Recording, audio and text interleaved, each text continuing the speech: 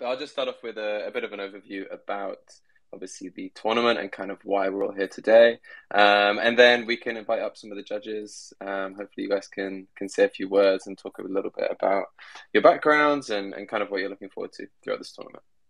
Um, so, uh, hello and welcome everyone to another Bolt Fun Twitter space. Uh, this week we'll be talking about the upcoming Legends of Lightning tournament, uh, as well as some of the prizes that we've got on offer um, from the two available tracks, um, plus some of the criteria that uh, makers projects will be judged on.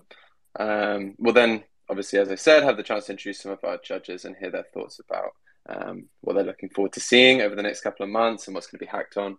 Um, so, a warm welcome to everyone and thank you for joining us. Um, for anyone that is new here, um, just briefly, the Legends of Lightning is BoltFun's first online global tournament. Um, and it's a chance for makers to learn, uh, connect, build, and accelerate their Bitcoin and Lightning projects over the course of two months or about nine weeks. Um, we've got around $60,000 in prizes, about three Bitcoin, um, up for grabs for some of the top projects, um, including one whole Bitcoin for the Grand Champion or the Legend.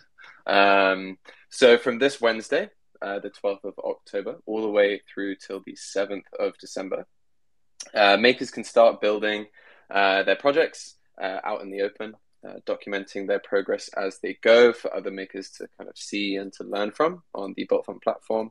Um, makers can basically enter either a new or an existing uh, project that they've been working on. However, obviously, people will be judged on the work that is completed between the actual tournament dates. Um, so we hope to see a good mix of kind of old and new projects and hopefully a lot of uh, innovation and growth kind of in between. Um, one aspect which I'm sure we'll touch upon a little bit more today is the idea of kind of building in public. I kind of just mentioned it as well. Um, this is something that we've talked about prior to this event, and one of the seven uh, important judging criteria that we'll we'll touch upon a bit later. Um, when trying to think about how we could solve some of the kind of crucial challenges that we currently see um, in the Bitcoin space, such as whether it's onboarding new talent or helping developers and designers sort of find crucial resources um, and support them sort of in growing their projects. Uh, the idea of building in public kind of became an important one for the event. So that is a, a theme that we'll be we'll be touching upon quite a bit. Um, I think another interesting point, which as some of you will have noticed, is obviously the length of this event. Um, so our past hackathons, our Shock the Web hackathons, we did two earlier this year. Um, they've been more sort of long weekends or week long events, um, which I guess kind of follow a slightly more traditional hackathon format um, that we often see in this uh, in this space.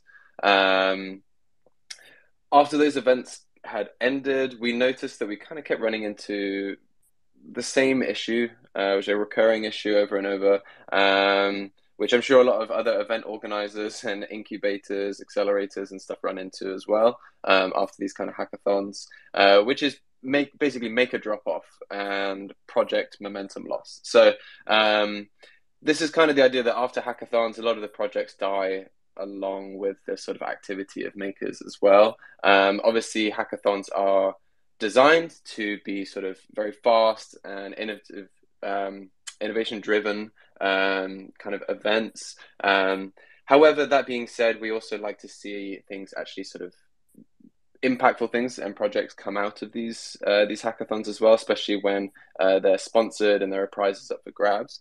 Um, and I would say that generally this kind of also has like a big impact on the space, the Bitcoin space itself. Um, and it means that Bitcoin's innovation and momentum on the application layer, at least, can sometimes be quite stifled after these events. Um, so some of these elements were the inspiration behind this tournament, um, and we look forward to seeing kind of an increase in activity and transparency uh, in the ecosystem because of it. Um, so, how can you take part? Well, so as I mentioned, this coming Wednesday, uh, project entries will open. So that's the 12th of October.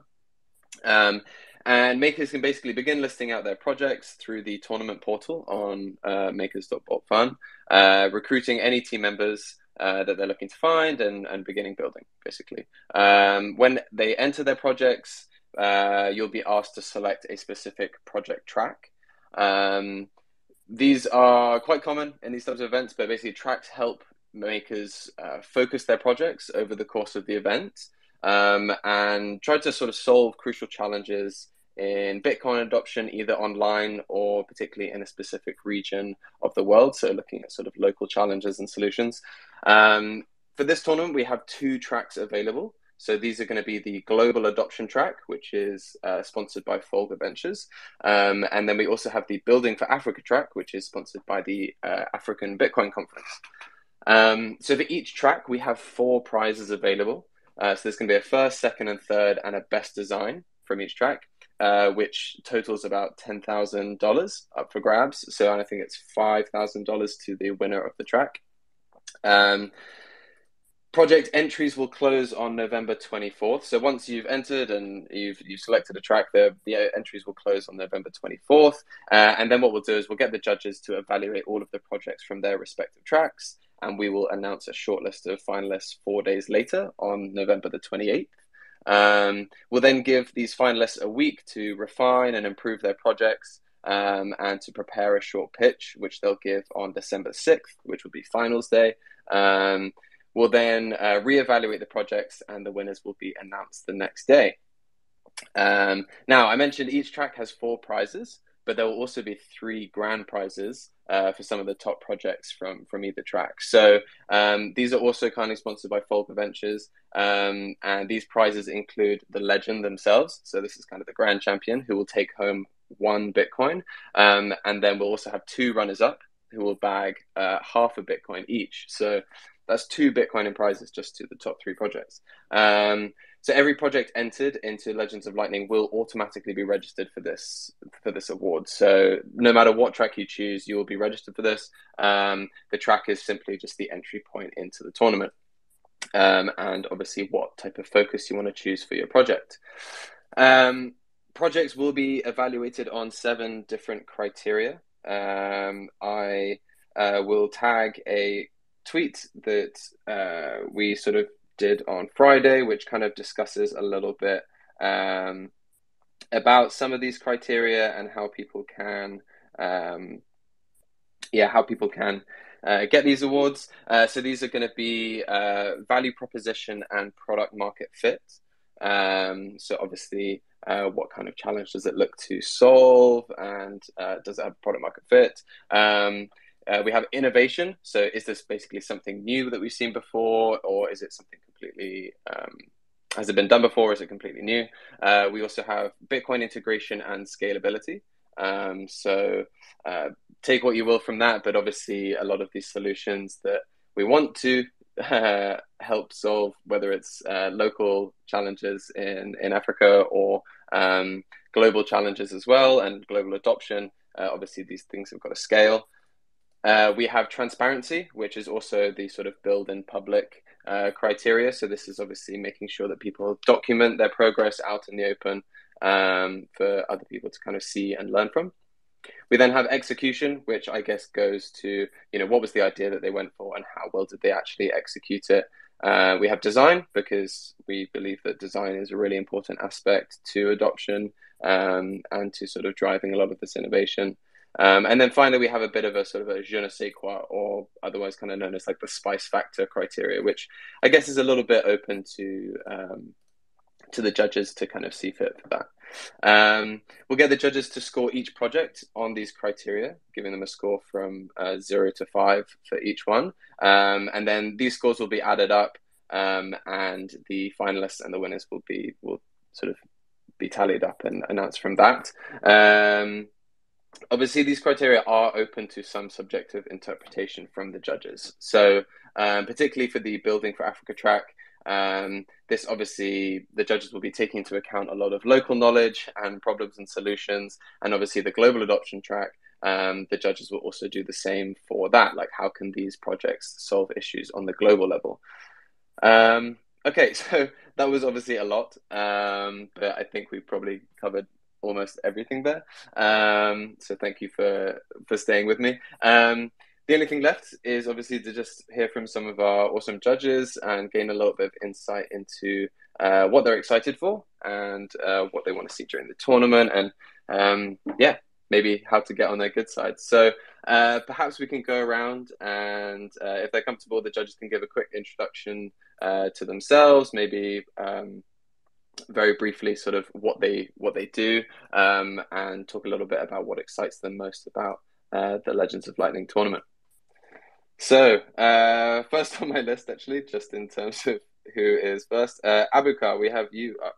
Um, would you like to maybe come up, give a little introduction to yourself, and um, talk about what excites you about this Legends of Lightning tournament, and maybe particularly your track? Oh yeah, definitely. Um, thanks again for having me. I think just to give a quick intro, I suppose.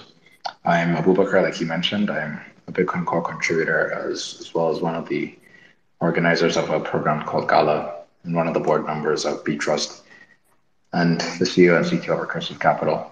I mean, for me, I'm really, really interested in the hackathons really that have been going on, especially by FOMO and like Bolt Fun, specifically because I think there's a huge, huge deficit when it comes to innovation around Lightning on the continent in general and just adoption. I mean, we already have quite a number of Rails, but the major issues for me is on the UX side. Not everything is easy to use for a lot of people, which is very necessary for getting the next billions of people onto Lightning or Bitcoin. And in terms of this contest, I'm really looking forward to seeing a lot of innovation and folks just building things that are out of the existing box in terms of what we're thinking about from like the product point of view and just trying to really push the bar to a level where, you know, we haven't seen frankly before.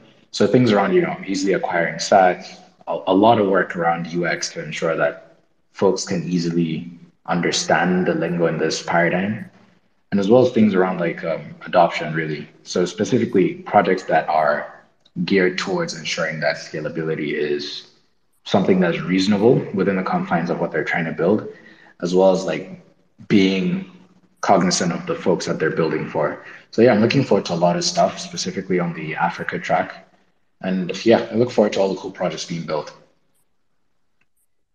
Cool. Yeah. Thanks. And um, for those of you who are not familiar, um, Abukar is a Bitcoin Core contributor. Um, what, what what has your experience been like as a contributor to Bitcoin Core? Um, how did you kind of get into that? Obviously, you're working a lot with Qala as well, um, teaching a lot of developers and trying to onboard a, a new wave of um, of developers in Africa for Bitcoin. Like, how how what is your experience like getting into this space? How did you find it? Um, what do you think can maybe be improved about it? And uh, do you hope to see some of those things kind of addressed during the tournament? Well, yeah, definitely. And really, you just found, I guess, the, the dev side of Bitcoin back in 2019 with the first uh, pull request I opened to Bitcoin Core. And ever since then, it's been like just down the dev rabbit hole. So reviewing PRs, opening PRs, but most of the time, really, as, as a core dev, it's really just reviewing other people's PRs and just trying to make sure that all the PRs are addressed so that we don't have like a huge, huge amount of PRs just outstanding. And with regards to like all the work we've been doing so far with folks like, you know, Tim, Bernard, Carla, and all the rest, it's really focused around, like you said, ensuring that the next wave of Bitcoiners are first and foremost technically, I guess, capable of handling the engineering challenges in the space, as well as have like a unique focus on the problems that they have in their specific locale. So ensuring that they're aware of, you know, trying to provide the perspective of folks that need more resilience on Bitcoin, need alternative avenues to access Bitcoin through like other, you know, um, other internet infrastructure that's outside of just straightforward um, internet services. And particularly with this with this contest, I think one thing I'm really looking forward to with regards to like the wider context of Africa is again, folks really thinking outside the box to try and incorporate some of the issues we have on ground, like whether it's intermittent electricity or frankly bad internet coverage, just things around that to ensure that we're really able to build tools that make a lot of sense. And on the VC side, of course, this is very, very helpful for us because again, it just means we're able to incubate some of these ideas that just need that little push because we're really quite early stage as a Bitcoin VC. So that's another thing we're looking forward to.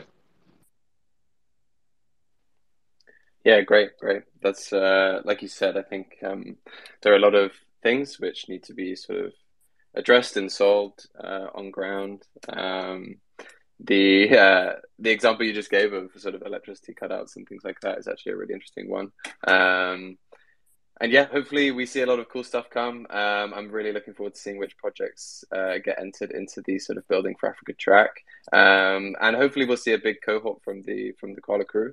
Um, they have actually been pretty pretty good with our last hackathons. Uh, I think our last uh, Shock the Web actually was won by a couple of Qala devs uh, who did the LN uh, stack tips. Um, which was a really cool project. So um, really huge hats off to you guys, and um, yeah, thank you for thank you for taking part, and looking forward to um, hopefully seeing what comes of it.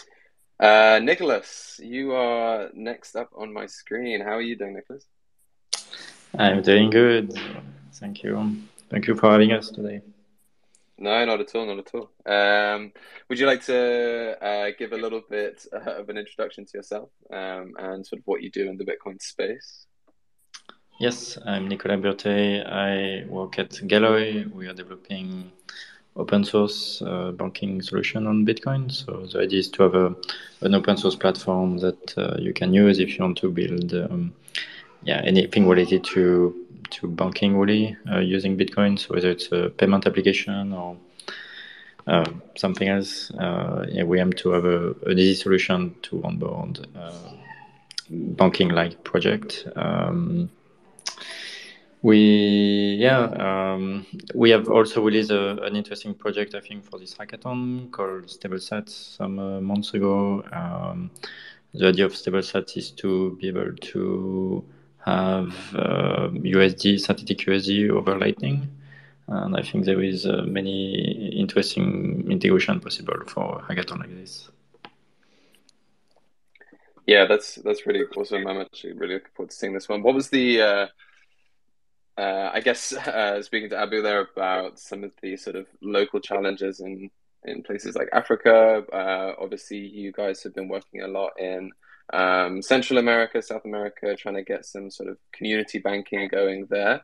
Um, how how much of a challenge do you think that's actually been in this space? And um, it, it must be a really particularly exciting kind of place to be in that sort of that aspect of community banking. Um, are you hoping to see quite a few new community banks kind of come out of this tournament? Yeah, yeah, I expect a lot of community banks coming up online in the next, um, I guess, year, uh, probably quarter.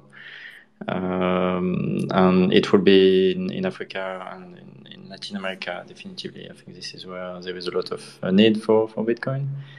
Um, yeah, as you said, we, we have a, a, wallet in El Salvador called the Bitcoin Beach Wallet, and we what's very interesting is to see the wallet go uh, month over month. You know, you, you if you read the uh, media headline from um, I guess main media, you will see that hey, you know, no one uses Bitcoin in, in El Salvador. Um, what we see is actually the opposite. We see more and more people using it, uh, and this is great. And it's all over Lightning. Um, you know, I think the solution works extremely well in El.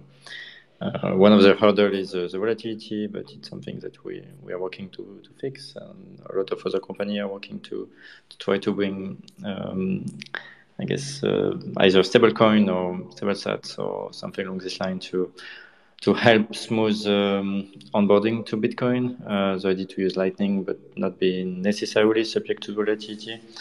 Uh, I think it's something that uh, has been a major pain point over the last uh, year, and obviously it's correlated with uh, you know the price. Um, uh, yeah, another thing that is. Um, I guess extremely important. I don't know if it meets a lot of the criteria for the hackathon, but is education. That is, in in um, yeah in, in El Salvador, like uh, Bitcoin and Lightning will only get mass adoption if there is a lot of a lot more education uh, across the country. So it's also something that we we are doing. We are contributing um, in in our case with Galoy with a conference on Adopting Bitcoin, which is um, which will have its, its second uh, session this year in November and we expect to have about a thousand people. And this year it's interesting because there will be a lot more local people uh, than last year. Last year there was a lot of um, foreigner coming to El Salvador, you know, because the Bitcoin law was just passed. But this year we expect to have um, a, a, lot more local people that know, you know, are interesting to learn about uh, Bitcoin and Lightning, and uh, we think this will help, you know, to have all the uh, whether it's uh, executive at companies, know, wanted to learn more, maybe the local developers that want to dig into Lightning. We hope this will um, be helpful. Yeah, amazing. It's I actually uh, read an article the other day that pretty much touched upon this exact point that that you did of um, I think the headline was something like Bitcoin, or sorry, El Salvador's uh, Bitcoin experiment has been a huge catastrophic failure, right? And uh, in the article, they kind of said, you know, only a quarter of the people in El Salvador are actually using Bitcoin. But I think when you probably speak to a Bitcoiner, you're like, wow, actually, I think that's a huge success. Like, um, obviously, yeah, more people could be doing it, but it's just kind of the start. And um, it must have been a pretty uh, exciting journey to kind of be uh, at the very root of that movement in somewhere like El Salvador. Um, and as you said, a huge part of that is to do with education, whether or not it's um, education of users on the ground, you know, how to how to use a wallet, whether it's an on-chain wallet or a Lightning wallet, um, how to maybe use hardware for savings, multi-sigs, whatever it is, and even just kind of understanding, uh, I think, what currency is and what money is. And i think that seems to be one thing which with conversations with my friends is that a lot of education needs to kind of happen around what what money is. Um, what's Galoy doing on the ground or, or, what have you seen on the ground with regards to uh, sort of education of uh, whether it's developers or product teams that are uh, maybe working with local companies to help implement solutions? Has, has there been a lot of that in el salvador Yes, there is some of that. Uh, I think there should be more of it. Um, currently, there is a lot of the technology being used in El Salvador, uh, being developed by foreign companies. Um, there, is now some companies that are you know local and trying to, um, I guess, uh, uh, educate developer on board developer, but I think it, it's still right now uh, a very niche um, market. Uh, I, I I know some of the challenges that the there is a very well established pattern where some of the best students for in computer science um, basically they are the school work with them to have them work for US company, but it's, it's like a, you know the consulting I guess framework where um, those students are not being currently well incentivized to look into Bitcoin and Lightning uh, because they, they have this track if you want to like if you're a good student you speak english and you you know will place you in one of the consulting company and you will work for a us company uh, and and therefore there is not the huge incentive to learn about bitcoin and lightning um, but uh, yeah it's something that you know hopefully uh, uh, the conference we are doing also where if you're in el salvador if you're an Salvadorian, you can uh, you can join the conference uh, for twenty one dollar. Um, you know, we hope it will bring more people developing on on, on Bitcoin and Lightning. So. I, I know also there have been many talks about the idea of this different set of laws that the El Salvador government is trying to pass. This will also hopefully have an effect to have more companies establishing themselves in El Salvador um, uh, you know, bringing more innovation, I guess, from El Salvador. Cool. Yeah, that's uh, that's what we hope to see. And uh, as Nicholas mentioned, there is going to be a uh, adopting Bitcoin event, which I think is going to be November fifteenth to the seventeenth uh, on the ground in El Salvador. So if you would like to come and uh, check out some of the things that he's talking about, uh, maybe visit Bitcoin Beach, see how this community actually runs and operates, um, then that is going to be a really exciting time uh, to do it. Um, cool. Thank you very much, Nicholas. And uh, yeah, looking forward to uh, to seeing what comes. Thanks. Uh, Paco, how are you doing, man? You said you are on the ground in Ethiopia at the moment. How are things there? Yeah, man. Hi, good evening, everyone. Yeah, things are good. It's really cold here. It's a mountainous country but it's like there is a lot of fear in the air. But yeah, man, it's Ethiopia, the origin of Africa.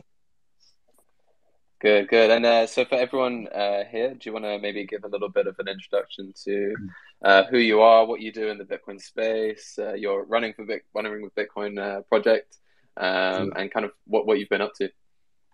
All right. Hi, good evening, fellow plebs. Thank you so much, everyone, for having me over. Uh, my name is Paco. I am from India and I am traveling around 40 countries by using Bitcoin. Uh, the purpose of the journey is to show there that there is mass adoption of Bitcoin and to do Bitcoin meetups. So far, I've hosted about 62 Bitcoin meetups in 21 countries. Ultimately, to show that humans are kind people.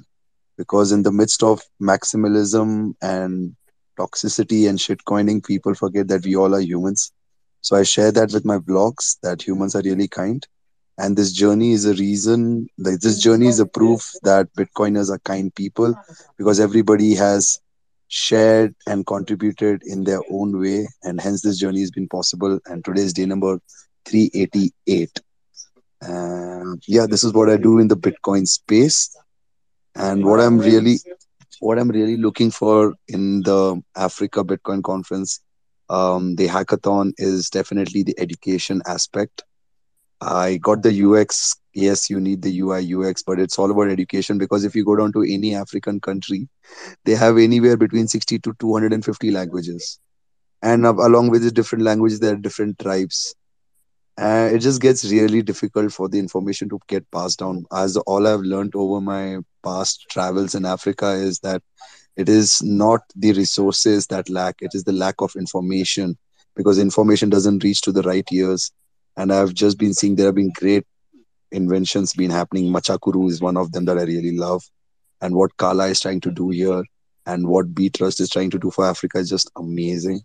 So I would be just looking them from my personal perspective of how I have felt the need on the ground where the person doesn't even have internet. There are areas without even basic mobile connectivity. There are areas without even electricity, like in Congo, DR Congo North. They just live on solar electricity. That too is for just two hours a day. So yeah, that's what I'm really excited, and I just want to meet Africa because yeah, Africa, Bitcoin was made for Africa. Thank you. And uh, so that's that sounds awesome. Um, I'm sure we could probably sit down and talk about a lot of your travels and and hear it for hours. But uh, just briefly, what were tell us what were some of the uh, the countries which maybe um, or regions that maybe impressed you the most with regards to uh, people who had taken the orange pill? You know, were you surprised by um, the number of people who were educated in Bitcoin in a certain area, or were using it more than you thought, or less than you thought, maybe? Um, yeah, what what places have really been a standout for you on your travels? Uh, definitely, I was really surprised. Was Nigeria was there right on the top? Like you got to see everything from Bitcoin mining through Bitcoin adoption, through people just you can call it money laundering, but they know how to move money. I think so. Nigeria moves money for the entire Africa. The second country would be Uganda. Like Uganda, these these guys, I know that the government is behind them, but these guys are not backing down. Like there was there's an exchange called Yellow Card. They had put a big billboard right on the central bank of Uganda that says "Buy Bitcoin." Uh, so it is really hilarious to just see Africans don't back down like Kenyans. Kenya is, I would say, for Kenya, Kenya is what Singapore was 20 years ago and this is just so ripe. Like you just have all the talents coming in down there and great things are happening. I was really surprised to see what uh, in singapore you can do anything man. Singapore is the biggest otc desk market. I think so if singaporeans and nigerians get together we don't need the what's the thing? The federal reserve anymore. But uh, great adoption. Like sri lanka unfortunately went down. Uh, but when i was there in sri lanka i i was surprised to even use that for so many things. Like I could use Bitcoin in almost like 10 different outlets. I, I, like there is Bitcoin adoption around the world. The thing is, these all places we did not, we weren't aware of. Like in Mozambique, there's a Tofo beach, and like in Malawi, there is Bitcoin adoption. There is Bitcoin adoption. Guys, these guys, one it was almost 10 p.m. We got done with the Bitcoin meetup, and I went to sleep. Next morning, I wake up at 6 a.m. and these guys are all up these guys are getting orange pilled all night. They couldn't sleep and they couldn't even think about how money is being made. And next thing you know they have started created a movement for bitcoin for women in uh, cameroon. So i just really feel inspired from these guys only like who just didn't sleep overnight and are orange pilled. So there are great great great projects and i'm really honored and blessed to be witness them and be part of them That's super cool. Yeah, it's really great to hear a lot of these uh, kind of stories and happenings actually on the ground. I think I can uh, certainly speak for myself and maybe a couple of others here that, you know, when you're building these projects and when you're working in the space, whether it's Bitcoin or um, any type of space, really, when you're when there is a degree of detachment from um, where you are building this thing and then where your users are actually using it uh, because a lot of products obviously are global. Um, it's sometimes hard to get a feel for the levels of adoption or um, the maybe the, even the level of impact and interest um, that is kind of surrounding these things. So i'm um, super happy to hear about uh, a lot of those things on your travels. And um, yeah hopefully we'll get to cross paths one day. Uh, that would be really exciting. And thank you very much for doing the job of trying to orange pill everyone around the world. Uh, we really appreciate it, and I hope you're having fun whilst you do it. Thank you, thank you, everybody. Love you, and keep stacking sats and stay humble. Love you all. Awesome, uh, Mary. How are you doing? Uh, Mary is a podcast host at uh, the FinTech X um, and also part of the BitNob team. Um, How's it going, Mary? Would you like to give a little bit of an introduction to yourself and, and how you got here? Yeah, sure. Um, hi, everyone. I'm super happy to be here. Um, so, quick introduction. I'll try to be as quick as I can. So, I'm Mary, and I'm a Bitcoiner and content creator. Um, so, I work for BitNob, um, B I T N O B. It's a um, Bitcoin only company which enables people to borrow, save, send, and receive Bitcoin. Um, we also provide um, Bitcoin for. We also provide um, a business platform um, which enables like business owners to, um, you know, send to receive payments for their items. Um, it's called BitNob for Business. and I'm the media associate at BitNob uh, I'm I've also been uh, quite active in a couple of other Bitcoin only projects like um, Satoshi's Journal, which is a Bitcoin only media company. Um, we deal with Bitcoin education and news, and we love sharing stories of Bitcoiners from different parts of the world. Um, I'm also part of the Global Bitcoin Fest team, and uh, then on my own, I run a Bitcoin only gaming channel on Twitch. So my goal really is to let people know that it's possible to incorporate Bitcoin in your daily life. Um, so that's basically what I do and the projects that I'm engaged in, um, and my mission um, currently in the Bitcoin space. So, as per like my expectations for um, the hackathon, um, I do agree with what the other speakers said, um, but I think I'm going to add a little bit more by saying that I'm very excited to see projects around the creative space. Um, I really believe that Bitcoin content creators are like, they're so underrated, and the Bitcoin content creation platforms that are in existence are underrated as well. So it'll be really cool to see um, some of those type of creative projects, including um, projects that are going to be like projects in the in the gaming space, the Bitcoin gaming space. And the reason why I'm really bullish about the gaming space is because um, Bitcoin games are a really uh, low barrier. Um, it's like it has a low barrier and or entry to entry barrier um, for people, so it's it makes it really easy to orange pill people when they start playing Bitcoin games, right? So I've seen it work um, with different people. I very I'm actually one of the moderators at um, THNDR Games, and I see how people get introduced to Bitcoin through gaming. Um, and I think that that is an industry that is something that I believe that's worth looking into.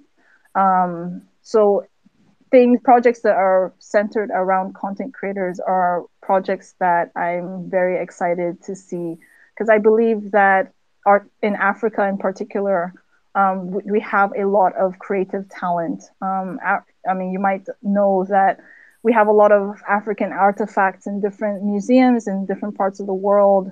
Um, and African art is um, one that is extremely unique, and we're seeing it incorporated in even modern day fashion. Um, so I believe that with the youth, especially, they can we can engage the youth through creative work um, and use it as a medium to orange pill them. Um, so I think that's a really interesting aspect to look into. Um, maybe because personally I'm not a coder, I'm actually a non-technical person, and I really feel that the non-technical side of Bitcoin is something that um, people are starting to see and take note of. Um, in the early stages of Bitcoin, we were like really um, enthralled by what the developers were able to do. Um, but now I think we're coming to that area or that time in our life when creators are starting to also identify them their their potential or their ability to contribute to the ecosystem through their creative work um, and that wouldn't be possible without the existence of bitcoin um, bitcoin platforms or tools that enables creators to be compensated for the creative work that they put in put into um, their designs or written work or video or whatever it is so that, that's my expectation, and that's a little bit about me. Thanks, guys.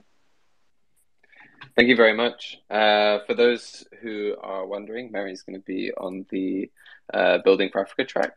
Um, one of uh, eight judges so far. Uh, Mary, have you got any advice to anyone who's going to be entering a project into this track? How can they impress you the most? Is it by maybe building a game, something educational? Um, yeah, any any advice for those guys? Ooh, that's a good question. Um, so I would be kind of biased if you guys build a game. um, but aside from that, I think one thing that I would say is um, so Africa has its unique problems um, that the West wasn't able to so or isn't able to solve with their own innovation. So I would say look within what is something that um, or what is a problem that you face in Africa right now that you know very well that Bitcoin can help solve. Um, and then another one is, I mean, I'm a huge fan of creators and how can we enhance, um, or let me put it this way. So a lot of creators are going into the creative space as a whole. Um, and I'm talking about the non-Bitcoin side, right? All of creators, they're going into the creative space because they feel um, they could have their art appreciated and maybe one day they get brand deals and sponsorships and all those kind of things but with bitcoin bitcoin sort of ac- accelerates that process why because instead of you waiting for get to get brand deals um, to finally get your work compensated or your designs compensated um, you can go straight ahead with your lightning address or qr code or whatever it is and start um, being compensated for your creative work so long as you are creating something of value, right? So I think that um, anything that would support these creators, so it'll be easy for them to take a to have a head start with um, their creative work, um, and yeah, that's always going to be a huge plus for me, maybe because I'm a creator myself. So yeah, those are the kind of things I'm looking out for. Cool. Okay, you heard it here first. Uh, next up, okay, we have uh, John. John, you've been waiting there patiently. How are you doing? I'm great. How are you doing? Yeah, doing very well, thank you. Um, John, I'm sure a lot of people here know you, but would you maybe like to give a little bit of an introduction to to yourself, what you're doing with synonym slash tags, and uh, and yeah, we can start there, and then maybe go into a little bit about what you're looking forward to in the tournament. Sure. My name is John Carvalho. I am Bitcoin Error Log on Twitter. Um, I have been in Bitcoin for about 10 years now. Uh, I am a, uh, I guess you would say, toxic Bitcoin maximalist. Um, I am CEO at a company called Synonym, where we are basically trying to make a whole ecosystem of products, technology, and services to facilitate accelerating hyper Bitcoinization. And so we have, you know, various uh, products and a protocol that we're creating to kind of explore what it would actually be like if we succeeded in undermining having, you know, control over us by big tech, big state, and big banks. Um, we will be announcing some, you know, updates at the end of the month at the Plan B conference in Lugano.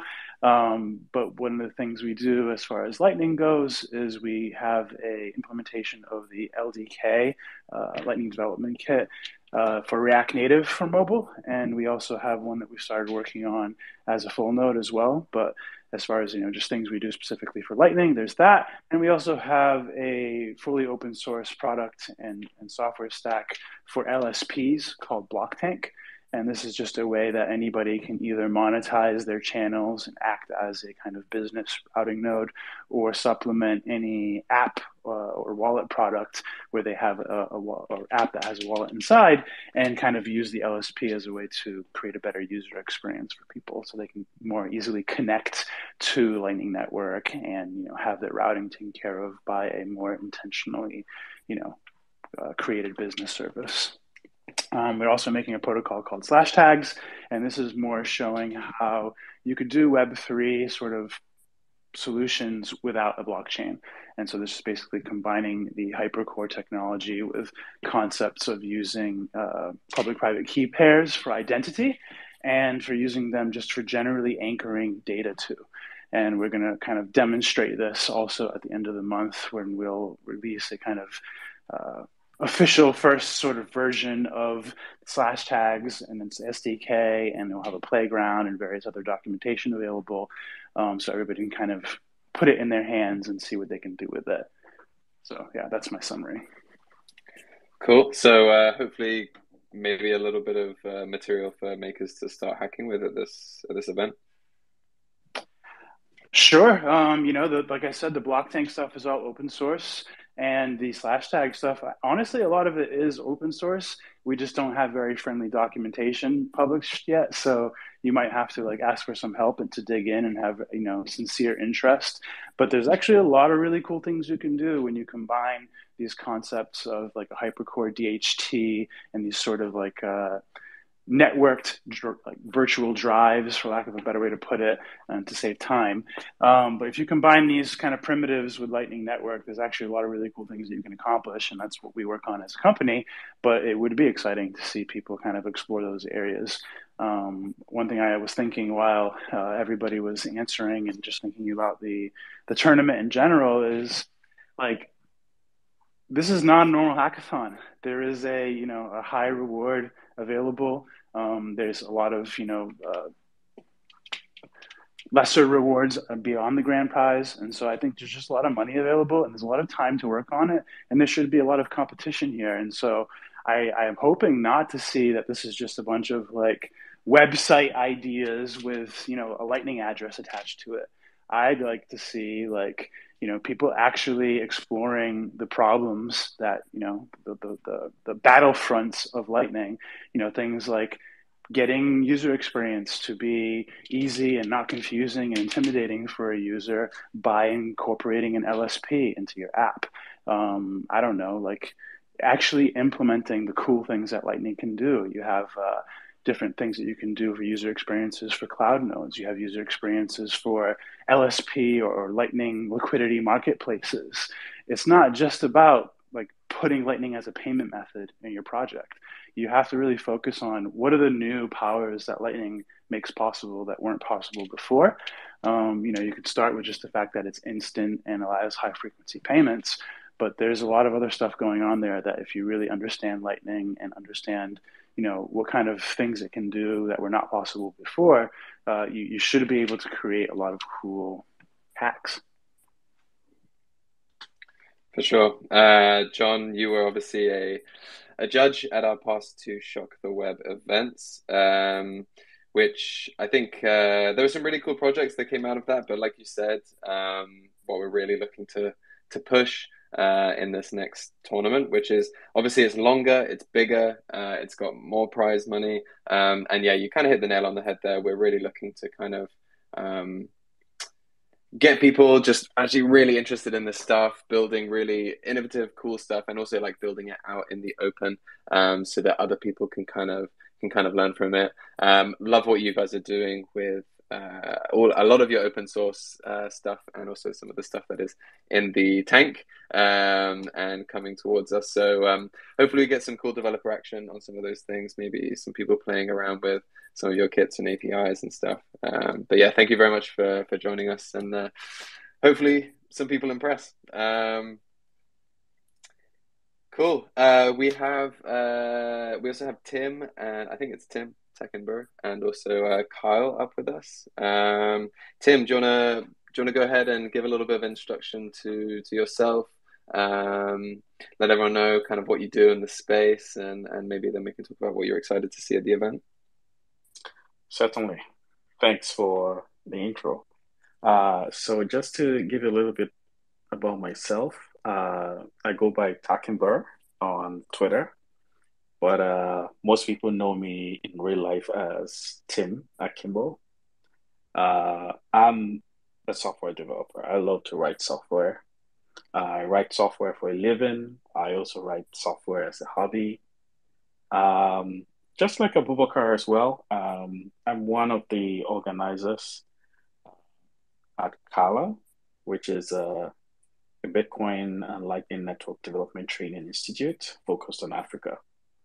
Um, I also do some Bitcoin development as well. I contribute to a number of projects in the space, and my focus uh, is around Bitcoin privacy and censorship resistance. So, um, most of my contributions to date has been in the JoinMarket uh, CoinJoin software project. Uh, and I would say basically that Bitcoin changed my life. You know, I it's kind of a really really long story.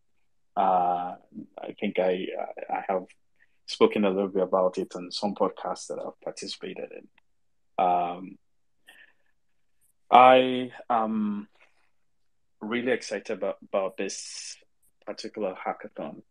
Um, I think some of the speakers have already kind of summarized most of the things that um, not only makes me excited about the hackathon, but also the kinds of things that I'm hoping to see uh, come out from from the hackathon. Um, you rightly mentioned that you know one of the things that we see with a lot of hackathons that have happened in the past is you see a lot of really cool projects, very interesting projects that you know, after the hackathons, there's just this drop off uh, by the developers of the project and they don't get to maintain those projects. I remember one of them specifically that I love so much. Um, it, it used to be a a Lightning browser extension. Uh, I forget the name of the extension right now. It was one of the very first uh, browser extensions for Joule. Um, yes, Joule.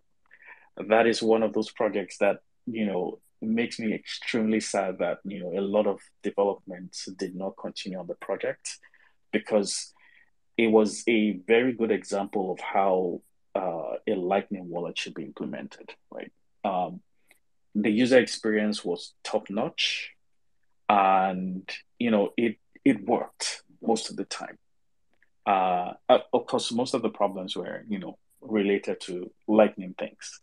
Uh, but that was kind of like a, a, project that, you know, had significant staying power. And despite the fact that it's not been actively developed, it's still useful uh, to some extent till this very day. Uh, so I'm really looking forward to seeing projects that have that kind of staying power. Um, I think, like John mentioned, there is sufficient time for teams that are looking to build projects to be able to come up with you know something more than just you know a single page web application that has a lightning url that does something, and hoping that we might start to see, you know, applications that can that really drive Bitcoin adoption. Um, I mean, we talk Bitcoin adoption, Bitcoin adoption, and you know, anything really that increases Bitcoin awareness, anything that increases Bitcoin usage, is what I would term a project that increases Bitcoin adoption. I am going to be focused on the um, building for Africa track of the hackathon. And I'm hoping to see a little bit more projects that promote circular economies. Um, I'm looking to see more and you know better on and off ramps. Um, I'm I'm looking forward to seeing projects that actually kind of encourage the use of Bitcoin in novel ways, right? So, like John mentioned, um, the ability for you to build things and use Lightning in ways that have not been possible before, but Bitcoin kind of makes possible. Um, you know, on the African continent, there are 54 nations. And of those 54 nations, there are only probably less than 20% of them that have any significant payments infrastructure. Uh, Bitcoin is that technology that finally makes financial infrastructure something that anyone, anywhere on the face of the planet can plug into. And I'm looking forward to seeing projects that recognize this potential and are looking at building solutions that you know capitalize on on this opportunity and can help to drive um, the economic prosperity of a lot of these places that are kind of excluded. So that's in summary what I I'm looking forward to seeing in the project. And um, yeah, I'm really excited to seeing the kinds of entries that we would have. Um, I think the the prices are very attractive, and I hope that would create some significant incentive for um, talented developers across the world, um, especially in the continent of Africa, to um, you know take interest in this and and build solutions. Cool. Yeah. Thanks, Tim. Um, also, very looking looking forward to seeing uh, what comes out of that. Uh, what comes out of that track. Um, I think potentially either sometime this week and also maybe uh, during the event as well. We're also going to be running a lot of sort of Twitter Spaces, um, giving people a chance to um, talk about what they're building, maybe exploring uh, some ideas and concepts and uh, movements such as uh, community banking, things like that. So um, there'll be a lot more opportunity to talk about some of these local solutions to Africa, and hopefully you can you can join us on some of those chats. Um, but yeah, thank you for for joining us today. We really appreciate it. Uh, final judge uh, we see here is Kyle. Kyle Murphy, how are you doing, man? Uh, have you had a good weekend with Pleb Lab? Hi, I'm doing pretty good. I actually just had my fiance get back into town. I have not made it to our club Dev weekend, but I have been informed that things are going quite well. So awesome, awesome. Yeah, we. Uh, we uh, so just a bit of uh, background noise there. Um, yeah, we spoke with uh, with Carl and uh, Carl on Friday, I think, to have a little chat about what was happening at Pleb Lab this weekend. They had a um, a couple days where they invited a bunch of devs to come into Pleb Lab, did some fun hacking, did some workshops. It sounded like a really really awesome event. Uh, Carl, for those of you, um, for those people who are not familiar with your work and, and what you do in the space, do you want to maybe give a little bit of a, a short introduction to to who you are and what you do? Sure. So, uh, my name is Kyle Murphy. I kind of really got started in the space not all that long ago. Uh, a relatively late entrant, perhaps compared to some of the other people here, uh, especially some of these speakers.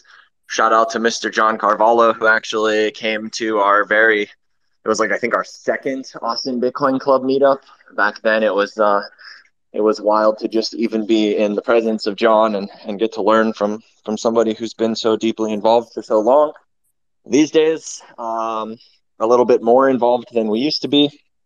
But from the Austin Bitcoin Club, which was really just uh, me and Car's attempt to launch a more social uh, community gathering than just the Bit Devs, which was great. It was a lot of people getting together, but was really highly technical for most of it. Um, from the ABC spawned Pleb Lab. Um, in the early days, Pleb Lab was just our attempt to give the community that showed up to ABC what they wanted. We had a lot of requests to get developers together more often than bit devs. Uh, so we started exploring how we could help to do that. We started looking at houses. One thing led to another. The place where we were hosting the Austin Bitcoin Club uh, kind of gave us access to a 10 person office space. And we decided after a little bit of uh, internal kind of communications with the team that we would kind of launch the space with the effort being geared towards something like an accelerator program. We had no idea how to run an accelerator program. We um, didn't really think in those early days that like trying to sell what we had as an accelerator program made any kind of sense. So what we did, we got access to an office space for 10 people, three months for free.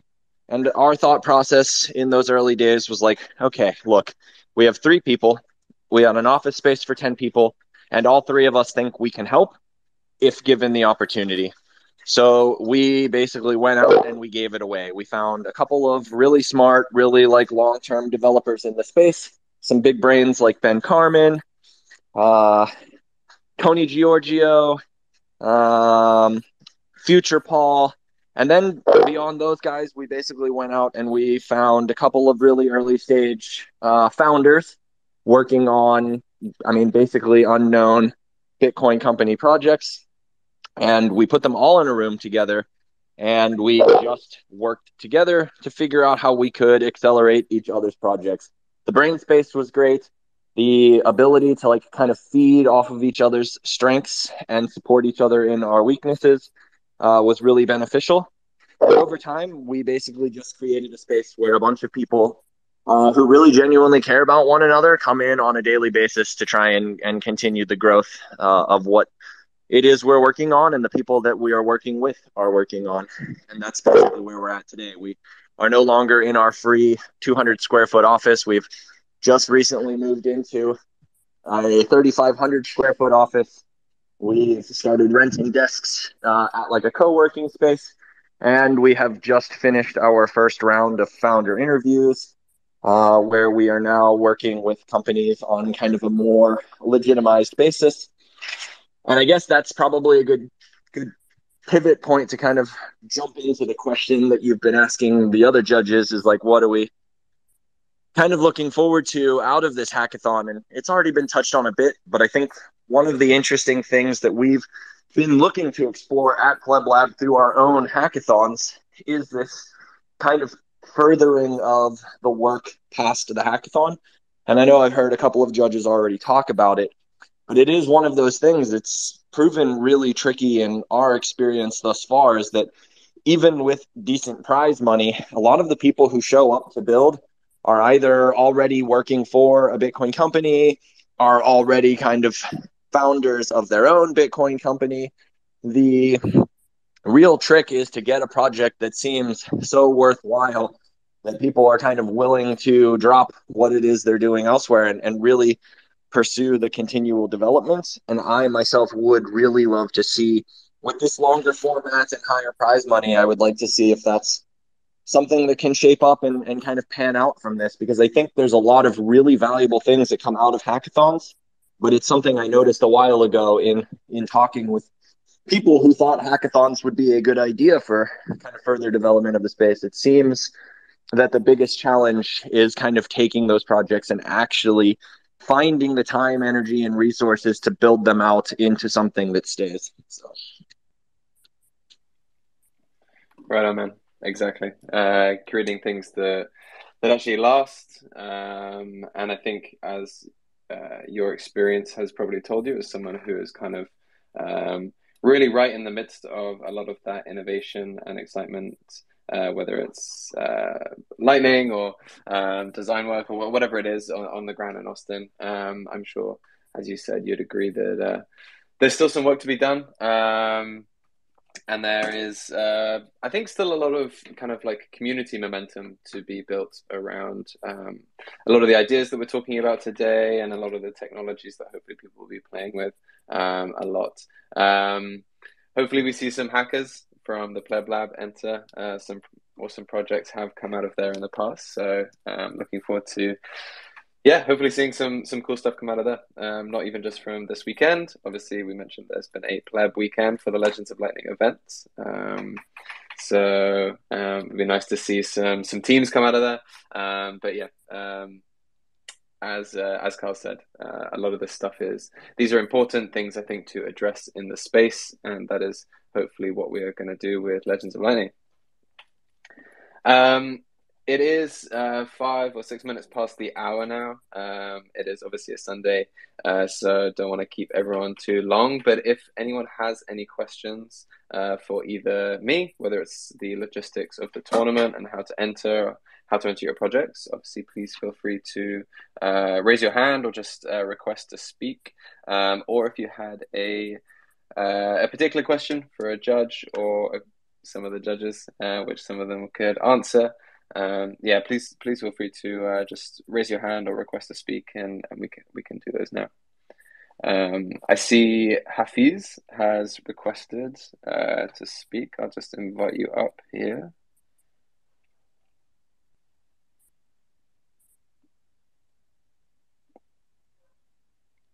Hey guys. Hafiz, how's it going? Hey. Um, Have you got a question for our judges? Yeah, yeah, yeah. I I'm actually working on a project um, it's called uh, it's called Sats for Unga. So I've basically built some uh, some tech that allows you to how shall you say to virtualize your mobile money account in Africa, so you can program on top of it. And I've already tested it in like five countries. But one of the things I want to do is actually um, use that to kind of start an initiative um, that allows people from overseas to use the Lightning Network to buy unga, which is maize flour in Kenya for a week. I'm originally from Kenya. My parents are still there. You know, I'm very tightly connected to that. And I don't know if you know about, you know, the, the situation in Kenya, but unga prices have been going up drastically and there's a lot of poverty in Kenya. So one of the things I've been trying to think about is a project that rather than talks about lightning, hodling and all this stuff, actually demonstrates the power of the Lightning Network and and works to number one educate people in Kenya about Lightning because they probably don't know about it. The second thing is highlight what the advantage of Lightning is over the traditional plumbing infrastructure. Because if you were to do this through remittances, you couldn't directly donate two pounds to buy somebody food for for a week in Kenya directly. But with Lightning and with the other tech that I've put together, it's actually possible to do this project. Um, I'm looking for help with people who want to be part of my team. So anyone that has UX design skills or is also good at putting together a community because the way the system is built, you need a number of people to contribute their phone accounts, their mobile money accounts, and form a bridge to the Lightning Network and create liquidity to do the transfers. So I'm, I'm just looking for people to connect with that can kind of help me, uh, you know, run this project. Thanks. Awesome. Thank you. Uh, thank you very much. It's really cool to hear about this project, and uh, um, sounds like a, a, suitable one for the Building for Africa track. Um, if you want to find uh, people to team up with, um, I would recommend going to the tournament webpage, which is makers.bolt.fun forward slash tournaments uh, forward slash one overview. Um, you can also just find it on the, if you go to the Bolt Fun, uh, makers.boltfun, you'll see it. Uh, there's a big banner there directly on the homepage as well. Uh, or if you go to bolt.fun and click on the hackathon um, in the top navigation bar, it will take you straight to that page. Um, so there are already 130 makers who have registered their interest in taking part. Uh, and when you register, you'll notice that you can basically set your hacking status. So this can either be open to connect or you can be hacking solo. Um, so what I would recommend is uh, take a look at that page, take a look at some of the makers who are um, taking part in the tournament or wanting to take part. Um, and if you're looking for a particular role, um, you can also search by role. So you can select from the drop down. You can go to like UI UX designers, um, and you can even go to the makers who are looking for a team tab, um, and that should show you a bunch of people who are um, ready to team up with um, and hopefully have some skills that that can help you out. So um, that's probably the best way to do it. Uh, if you want to talk a little bit about your idea, uh, it would be great to hear a little bit more. And obviously, that's a great way to try and recruit makers. So uh, what you can also do is uh, obviously go to uh, our homepage and just write a story. So uh, create your profile, and if you want to just write a story about uh, your project, uh, or maybe what the idea is, maybe how you want to integrate Lightning, what type of people you're looking to help you out. Um, and just use the tag brainstorm. Um, that usually seems to be a good way to get people um, talking about your idea and commenting on it. Um, and then finally, uh, if you really want to as well, you can join our community Discord. Um, I'm very happy to uh, send you a, a, direct message with a link for that. Um, but if you join our Discord, um, we've got, I think, over 250 makers in there, uh, some of whom are obviously going to be hacking solo uh, for, at this current tournament or past events. Um, and then obviously a lot of people who are also looking for teams in there. So um, that's probably a good way, place to sort of hang out um, and find people, but definitely give it a start through the tournament um, the tournament portal. Um, and yeah, best of luck. Sounds like an awesome project, and, and looking forward to seeing what gets built. Thanks. Of course, of course. Uh, has anybody else got any questions for either myself or our judges? Um,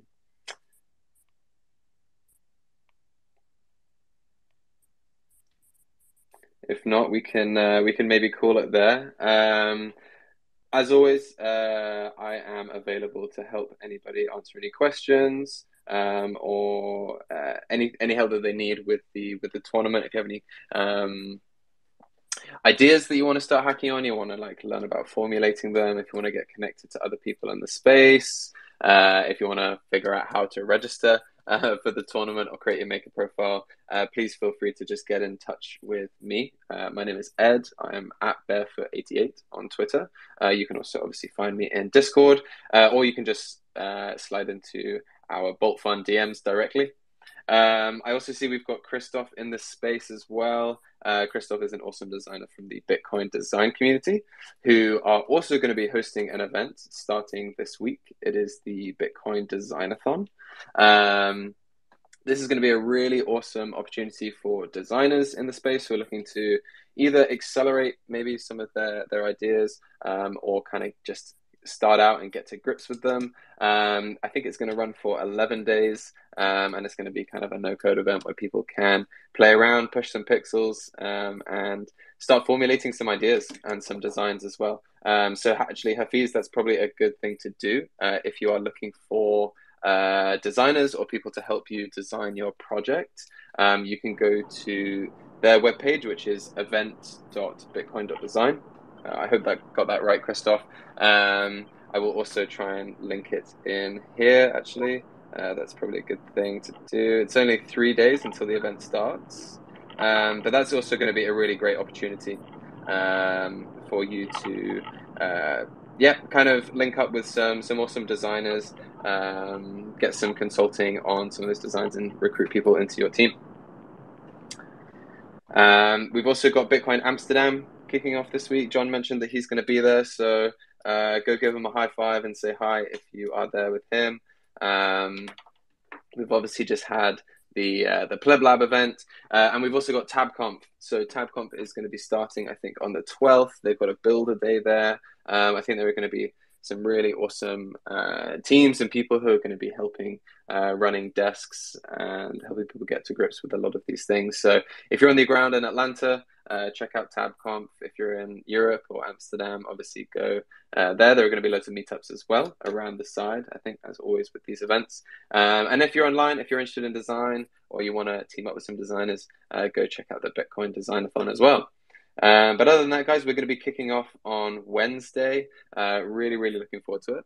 Um, and just want to say a big shout out and thanks to all of our judges who have uh, been with us today. Um, it's a real pleasure to be working alongside a lot of you guys. And um, yeah, hopefully we get some awesome things coming out of this. Um, but uh, yeah, if you are interested in taking part in the tournament, if you haven't already, go and register. Um, you can find the tournament portal um, in the in the tweet that I embedded in this space, or you can just find it on the makers.bolt.fun site. Um, we've got 130 signups so far. Uh, hopefully, we'll get another 130, um, and just really looking forward to seeing some of the projects. Um, but thanks, guys. Hope everyone has a wonderful uh, Sunday, rest of your Sunday, and uh, thank you for joining. And we look forward to seeing you on the next one.